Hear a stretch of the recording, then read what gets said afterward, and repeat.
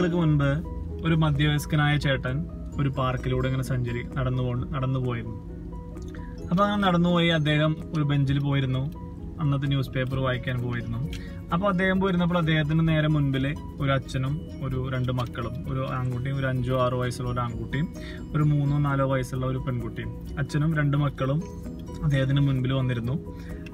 അപ്പോൾ ആ അച്ഛൻ ആ ബെഞ്ചിൽ ഇരുന്നിട്ട് മക്കളോട് പറഞ്ഞു നിങ്ങൾ പോയി കളിച്ചു എന്ന് പറഞ്ഞു.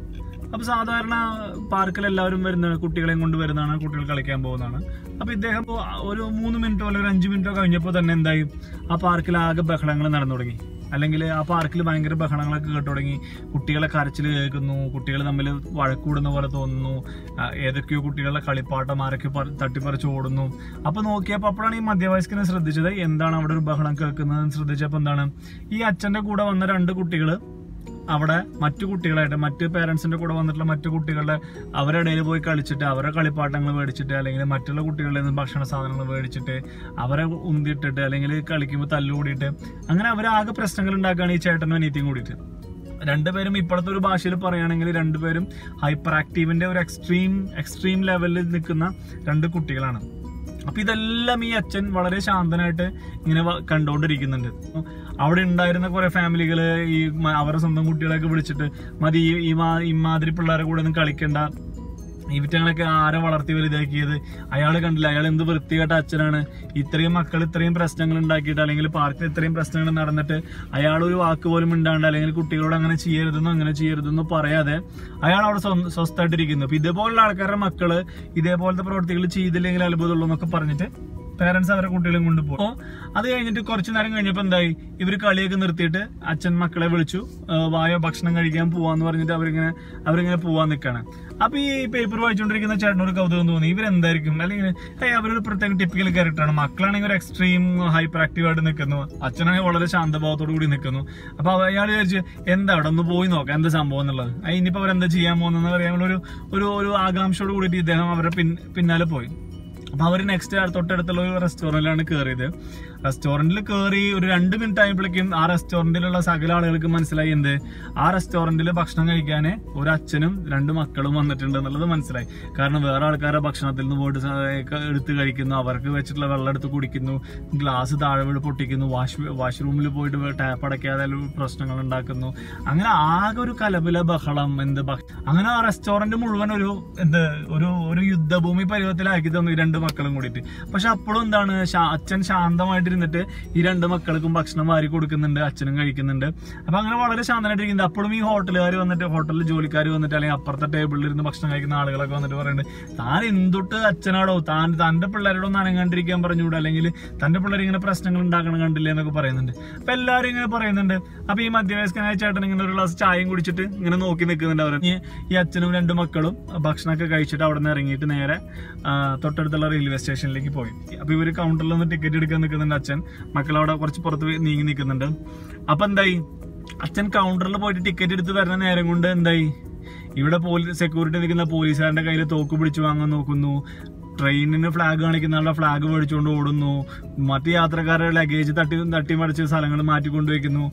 അങ്ങനെ കമ്പാർട്ട്മെന്റ് മീൻസ് എന്ത്? റെയിൽവേ പ്ലാറ്റ്ഫോമിൽ ആകെ ബഹളം. തൃശ്ശൂർ പൂരത്തിന്റെ ഇടയിൽ പോയ പോലത്തെ അവസ്ഥ എന്ന് പറയില്ലേ ആകെ ബഹളം. അപ്പൊ അവസാനം റെയിൽവേ പോലീസ് ഇവരെ രണ്ട് പിള്ളേരും പിടിച്ചുകൊണ്ട് വന്നിട്ട് അച്ഛനടുത്ത് പറഞ്ഞു ഒന്നെങ്കിൽ ഇവരെ മര്യാദയ്ക്ക് നോക്കുക. അല്ലെങ്കിൽ നിങ്ങൾ ട്രെയിനിൽ പോകേണ്ട വേറെ ഏതെങ്കിലും വേറെ ഏതെങ്കിലും ഇതിൽ പോവാൻ നോക്കുക. അല്ലെങ്കിൽ പ്രശ്നങ്ങളാവും എന്ന് പറഞ്ഞു. അപ്പൊ അവസാനം എന്താ ഇങ്ങനെ കല- കലാപം കഴിഞ്ഞ് ട്രെയിൻ വന്നു. ട്രെയിൻ വന്നപ്പോൾ എന്ത് ചെയ്തു? അച്ഛനും രണ്ട് മക്കളും ഒരു കമ്പാർട്ട്മെന്റിൽ കയറി അപ്പൊ ഈ ഈ നമ്മുടെ പണി തൊഴിലൊന്നുമില്ല അത് ഈ ചേട്ടൻ എന്ത് ചെയ്തു? മൂപ്പരും അവരുടെ പിന്നാലെ കയറി അപ്പൊ ഇത് ഇവരെവിടെ ഇരിക്കുന്നതെന്ന് നോക്കി നോക്കി പോയിട്ട് ഈ ഈ ചേട്ടൻ ഈ അച്ഛന്റെ മുമ്പിൽ പോയിരുന്നു. അപ്പൊ ഈ ഈ മധ്യവയസ്കനായ ചേട്ടൻ അച്ഛനോട് ചോദിക്കും ഞാൻ ഒരു സംശയം ചോദിച്ചോട്ടെ. നിങ്ങളുടെ മക്കൾ എന്ത് വളരെയധികം പ്രശ്നങ്ങൾ ഉണ്ടാക്കുന്നു വളരെയധികം എന്താ പറയാ മറ്റുള്ള ആൾക്കാർ ബഹളം ഉണ്ടാക്കുന്നു തല്ലൂടുന്നു പ്രശ്നങ്ങൾ ഉണ്ടാക്കുന്നു. അവരെല്ലാവരും ഒന്ന് പരാതി പറയുന്നു നിങ്ങളുടെ മക്കളുടെ സ്വഭാവത്തെ പറ്റിയിട്ട്. എന്നിട്ടും നിങ്ങൾ എന്ത് നിങ്ങളൊന്നും പ്രതികരിക്കാതെ വളരെ ശാന്തനായിട്ടാണ് ഇരിക്കുന്നത് ഞാൻ കാണുന്നത്. അപ്പോ എന്തുകൊണ്ടാണ് നിങ്ങൾ അത്ര വളരെ ശാന്തനായിട്ടിരിക്കുന്നത് അല്ലെങ്കിൽ നിങ്ങളുടെ മക്കൾ ഇത്രയൊക്കെ ചെയ്തിട്ടും നിങ്ങൾക്ക് എങ്ങനെ ഇങ്ങനെ ശാന്തനായിട്ട് ഇരിക്കാൻ പറ്റുന്നു എന്ന് ആര് ചോദിക്കും? നമ്മുടെ ഈ മധ്യവയസ്കനായ ചേട്ടൻ. ഈ അച്ഛനോട് ചോദിക്കും.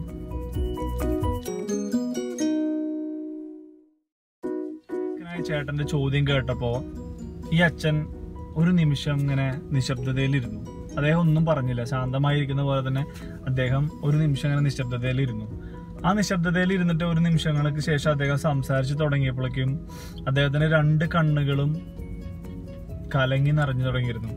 അപ്പൊ അദ്ദേഹം ഈ ചോദ്യം ചോദിച്ച മധ്യവയസ്കനായ ആളോട് പറഞ്ഞു ഞങ്ങൾ പാർക്കിൽ വരുന്നതിന് തൊട്ട് മുൻപ് എനിക്ക് ഒരു കോൾ വന്നു. അത് ഇവിടുത്തെ നമ്മുടെ സിറ്റി ഹോസ്പിറ്റലിൽ നിന്നാണ് എനിക്ക് ആ കോൾ വന്നത്. കോൾ വന്നത് പ്രകാരം ഇങ്ങനെയാണ് അവിടുന്ന് ഹോസ്പിറ്റലിൽ നിന്ന് അറിയിച്ചത്. നിങ്ങളുടെ ഭാര്യ എന്ത്? ഒരു മേജർ ആക്സിഡന്റ് പറ്റിയിട്ട് ഇവിടെ ഐ സി യുവിൽ അഡ്മിറ്റ് ആണ് വെന്റിലേറ്ററിലാണ് ഇപ്പം ഉള്ളത് മാക്സിമം പോയ ഒരു രണ്ട് മണിക്കൂറും കൂടി അവർ ജീവിച്ചിരിക്കാൻ സാധ്യതയുള്ളൂ. അപ്പോൾ നിങ്ങൾ എത്രയും പെട്ടെന്ന് ഹോസ്പിറ്റലിലേക്ക് വരണം. എത്രയും പെട്ടെന്ന് വന്നാൽ നിങ്ങൾക്ക് ഭാര്യയെ കാണാം. പക്ഷെ മാക്സിമം ഒരു ഒരു മണിക്കൂർ മുതൽ രണ്ട് മണിക്കൂർ വരെ അവരിനി ജീവനോടെ ഇരിക്കാൻ സാധ്യതയുള്ളൂ. അറിയിക്കേണ്ട എല്ലാവരും അറിയിച്ചോളൂ എന്ന് അവിടുന്ന് ഹോസ്പിറ്റലിൽ നിന്നൊരു എമർജൻസി കോൾ ഇദ്ദേഹത്തിന് വന്നു. അപ്പം ഇവരുള്ളത് ആ ഹോസ്പിറ്റലിൽ നിന്ന് കുറച്ച് കുറച്ച് അകലെ ദൂരെയാണ് ഉള്ളത്. അപ്പം ഇവർക്ക് ഇവിടുന്ന് ആ ഹോസ്പിറ്റലിലേക്ക് പോകാനുള്ള ആകെ ഒരു ഓപ്ഷൻ എന്ന് പറയുന്നത് ഇപ്പോഴുള്ള ആ ട്രെയിനാണ് ഇപ്പോൾ അവർ ടിക്കറ്റ് എടുത്ത് കയറിയിരിക്കുന്ന ട്രെയിനാണുള്ളത് അവിടെ ചെല്ലുമ്പോഴേക്കും ഈ ട്രെയിൻ ആ സിറ്റി ഹോസ്പിറ്റലിൽ അവിടെ എത്തി. ഞങ്ങൾ ആ സിറ്റി ഹോസ്പിറ്റലിൽ എത്തുമ്പോഴേക്കും എന്റെ ഭാര്യ അതായത് ഈ രണ്ട് ഈ രണ്ട് മക്കളുടെ അമ്മ ജീവനോടെ ഉണ്ടാവില്ല. അപ്പോൾ ഇവർ തിരിച്ചു ചെന്ന അമ്മയുടെ അടുത്തേക്ക് പോണേന്ന് മാത്രമേ അവർക്ക് അറിയത്തുള്ളൂ. തിരിച്ചു ചെന്ന് കഴിഞ്ഞാൽ അവർ കാണാൻ പോകുന്നത് ജീവനില്ലാത്ത അമ്മയുടെ ശരീരമാണ് ഞാനത് അവരോട് പറഞ്ഞിട്ടില്ല. അതായത് അവരുടെ ജീവിതത്തിലെ അവരുടെ ജീവിതത്തിലെ സന്തോഷം നിറഞ്ഞ അവസാനത്തെ രണ്ട് മണിക്കൂറാണ് ഈ രണ്ട് മണിക്കൂർ ഇപ്പോൾ നമ്മൾ ആ പാർക്ക് മുതൽ ഇപ്പം നമ്മൾ ഞങ്ങളവിടെ എത്തുന്നത് വരെയുള്ള ആ ഒരു രണ്ട് മണിക്കൂറാണ് അവരുടെ ജീവിതത്തിലെ സന്തോഷത്തിന്റെ അവസാനത്തെ നിമിഷങ്ങൾ അപ്പോൾ ഞാൻ വിചാരിച്ചു അവരുടെ ജീവിതത്തിലെ അവസാന സന്തോഷ നിമിഷങ്ങളല്ലേ? അവരത് മാക്സിമം എൻജോയ് ചെയ്തോട്ടെ. കാരണം ഹോസ്പിറ്റലിൽ എത്തിക്കഴിഞ്ഞാൽ എന്താവും? അവരറിയും അവർ ജീവന തുല്യം സ്നേഹിച്ച. അല്ലെങ്കിൽ അവരതിന് ഇത്ര അധികം നാൾ ജീവന തുല്യം കണ്ണിലെ കൃഷ്ണമണി പോലെ നോക്കിയ അവരുടെ അമ്മ ഒരു ആക്സിഡന്റിൽ പെട്ട് മരിച്ചു എന്നുള്ളത് അവർ അവരറിയും. അപ്പം അതോടുകൂടി ആ കുഞ്ഞു കുഞ്ഞുങ്ങളുടെ ജീവിതത്തിൽ അവരതോടുകൂടി ആ നിമിഷത്തോട് കൂടിയിട്ട് അവർ അനാഥരായി മാറും. അല്ലെങ്കിൽ അവരുടെ ജീവിതത്തിൽ പിന്നെ ഒരു ചിരിച്ച മുഖം കാണാൻ പറ്റും എനിക്ക് എനിക്ക് വലിയ പ്രതീക്ഷയൊന്നുമില്ലെന്ന് ഈ അച്ഛൻ നിറഞ്ഞ കണ്ണുകളോട് കൂടിയിട്ട് ആ മധ്യവയസ്കനായ ചേട്ടനോട് പറയാണ്. ഇത് കേട്ടുകൊണ്ടിരിക്കുന്ന ആ ചേട്ടന്റെ കണ്ണുകളും നിറഞ്ഞൊഴുകി. അത് അതായത് അത്രയും നേരം ആ ലോകത്തിലുള്ള മുഴുവൻ ആളുകളും എന്തു പറഞ്ഞു? അത്രയും നേരം ആ ലോകത്തിലെ മുഴുവൻ ആളുകളും പറഞ്ഞത് ഇത്രയും വൃത്തികെട്ട ഒരു അച്ഛൻ അല്ലെങ്കിൽ ഇത്രയും കഴിവ് കെട്ട ഒരു അച്ഛൻ അല്ലെങ്കിൽ കുട്ടികളെ മര്യാദയ്ക്ക് വളർത്താൻ അറിയാത്ത ഒരു അച്ഛൻ അല്ലെങ്കിൽ കുട്ടികൾ ഇത്രയും പ്രശ്നങ്ങൾ ഉണ്ടാക്കിയിട്ടും അവരെ ശ്രദ്ധിക്കാതെ സ്വന്തം കാര്യം നോക്കി ശാന്തനായിട്ടിരിക്കുന്ന ഒരു അച്ഛൻ.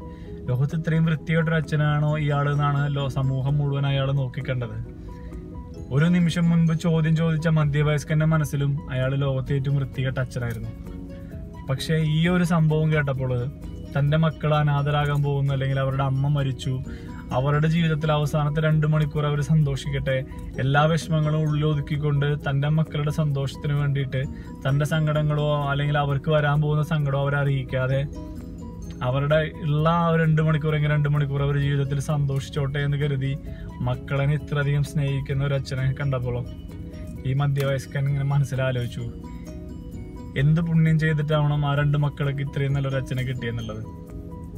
അപ്പോ അപ്പൊ ഈ കഥയുടെ കഥയിൽ നിന്ന് നമുക്ക് തരുന്ന ഒരു പാഠം ഉള്ളൂ നമ്മൾ അതായത് നമ്മുടെ സമൂഹത്തിൽ പല സംഭവങ്ങളും നടക്കുന്നുണ്ട്. അല്ലെങ്കിൽ നമ്മുടെ സമൂഹത്തിൽ പല കാഴ്ചകളും കാണുന്നുണ്ട്. പല വ്യക്തികളും പല രീതിയിൽ പെരുമാറുന്നത് നമ്മൾ പലരും കണ്ടിട്ടുണ്ട്. പക്ഷെ നമ്മളെല്ലാവരും അത് എന്തുകൊണ്ടാണ് അവർ ചെയ്തത്? അല്ലെങ്കിൽ എന്തായിരിക്കും അവരങ്ങനെ ചെയ്യാൻ പ്രേരിപ്പിച്ചതെന്ന് ചിന്തിക്കാതെ നമ്മളെല്ലാവരും ഒരു മുൻവിധിയോട് കൂടിയാണ് പെരുമാറുന്നത്. അയാൾ വൃത്തികെട്ടവനാണ്. അല്ലെങ്കിൽ ഇയാളൊരു കഴിവ് കെട്ടവനാണ്. അല്ലെങ്കിൽ അയാളുടെ സ്വഭാവം മോശമാണ്. അല്ലെങ്കിൽ അയാൾ ഇങ്ങനെയാണ്. അങ്ങനെ ഒരു മുൻവിധിയോട് കൂടിയാണ് നമ്മളെല്ലാവരും പലപ്പോഴും പെരുമാറാറുള്ളത്. പക്ഷെ സത്യത്തിൽ ഇങ്ങനെ ഇത്തരത്തിലുള്ള അതിന് പിറകിലുള്ള കാരണങ്ങൾ അറിയുമ്പോൾ ചിലപ്പോൾ അവർ ചെയ്തതെല്ലാം വളരെ ശരിയായിട്ട് നമുക്ക് തോന്നും. അല്ലെങ്കിൽ ലോകത്തിൽ ഇത്രയും നല്ലൊരു മനുഷ്യന് വേറെ ഉണ്ടോ എന്ന് നമുക്ക് തോന്നിപ്പോകും. അപ്പോൾ ഒന്നും ഒന്നും മുൻവിധിയോടുകൂടി ചെയ്യാതെ എന്ത്? അല്ലെങ്കിൽ ആരെയും ആരെയും കാര്യങ്ങൾ മനസ്സിലാക്കാതെ വിധിക്കാതെ അല്ലെങ്കിൽ ഒന്നും ഒന്നും പ്രവചിക്കാതെ ഒന്നും പ്രവചിക്കാതെ സത്യങ്ങൾ മനസ്സിലാക്കിയിട്ട് സത്യസന്ധമായിട്ട് കാര്യങ്ങൾ മനസ്സിലാക്കി പെരുമാറാൻ ശ്രമിക്കണം എന്നുള്ളതാണ് ഈ കഥയുടെ ഒരു ഒരു ഒരു സാരം നമ്മൾക്ക് തരുന്നത്. അപ്പോൾ ഈ കഥ നിങ്ങൾക്ക് എല്ലാവർക്കും ഇഷ്ടപ്പെട്ടു എന്ന് വിചാരിക്കുന്നു. അപ്പോൾ നിങ്ങൾക്ക് എല്ലാവർക്കും ഈ കഥ ഇഷ്ടപ്പെട്ടു എന്നുണ്ടെങ്കിൽ നിങ്ങളുടെ നിങ്ങൾക്ക് തോന്നിയ അല്ലെങ്കിൽ നിങ്ങളുടെ മനസ്സിൽ തോന്നിയ ഒരു ഒരു ഒരു കമന്റ് എന്താണെന്നുള്ളത് ഈ വീഡിയോന് താഴെ നിങ്ങൾ കമന്റ് ചെയ്യണം. ഇതുപോലത്തുള്ള മനോഹരമായ വീഡിയോകൾ അല്ലെങ്കിൽ ഇതുപോലത്തെ മനോഹരമായ സന്ദേശങ്ങൾ നൽകുന്ന വീഡിയോകൾ അല്ലെങ്കിൽ എന്തെങ്കിലും പുതിയ പുതിയ തരത്തിലുള്ള വീഡിയോകളുമായിട്ട് വീണ്ടും കാണുന്നവരേക്കും നന്ദി നമസ്കാരം.